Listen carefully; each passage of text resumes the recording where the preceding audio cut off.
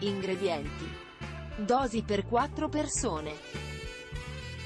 500 g di fusilli.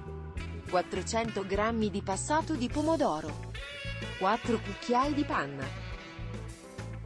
3 cucchiai di yogurt. 1 spicchio d'aglio. 3 foglie di menta. Dado. Un cucchiaio di origano secco. 6 cucchiai d'olio e 30 g di parmigiano. Preparazione. Soffriggere l'aglio nell'olio. Unire il pomodoro. La panna. Lo yogurt. Il dado e la menta. Cuocere a fuoco dolce per 5 minuti. Unire l'origano e cuocere per altri 10 minuti semicoperto. Lessare la pasta.